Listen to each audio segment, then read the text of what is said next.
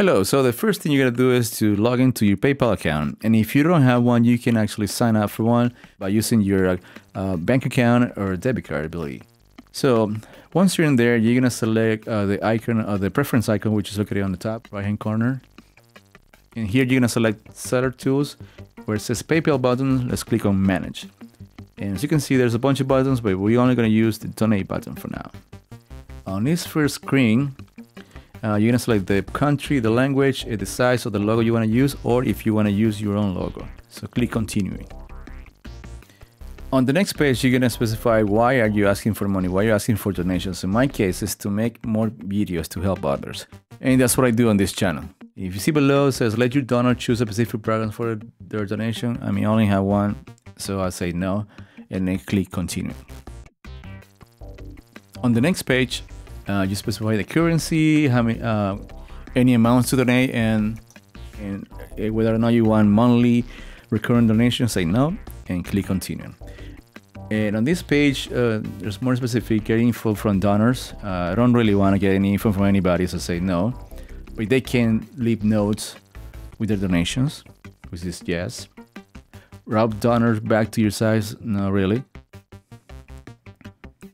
Set account identifier.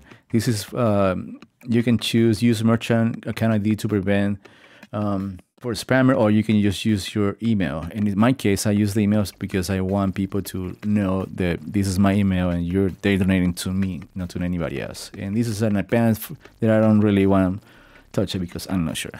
So finish and get the code. And right here you can see there's the html uh, code that you can use in your website all you gotta do is copy the clipboard and follow the instructions and next to the bottom HTML is the shareable URL. That's basically the one that I want because I want to include that on my on my videos so people can donate if they feel so. All you gotta do is just copy the link and paste it everywhere. And it, uh, let's give it a try. Let's browse it out to see where it takes us. So this is how it looks. So it shows the my email and you can add the desired donation you want. And just click next. Boom. I mean, of course, you get a prompt you to sign on your PayPal account, and boom. I just did it to myself, so it's not allowed. It says you can send, you cannot send money to yourself, and blah blah. So I'm gonna get out of there, and I'm gonna show you because um, I already have one one um, one link on one of my videos, so I can show the process how it how it works.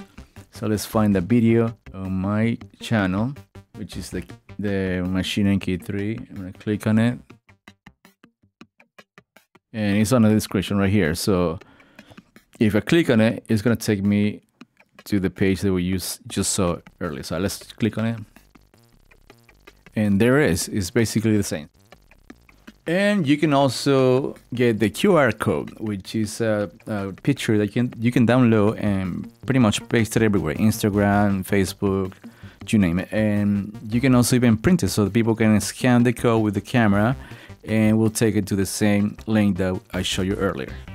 And that's pretty much three ways where you can get uh, donations from people using a uh, donate button and the shareable URL where you can place a link everywhere, even on YouTube videos, and the QR code where you can download the picture, upload it anywhere, and people can just scan it with the camera phone and go to the same link that I showed you earlier before.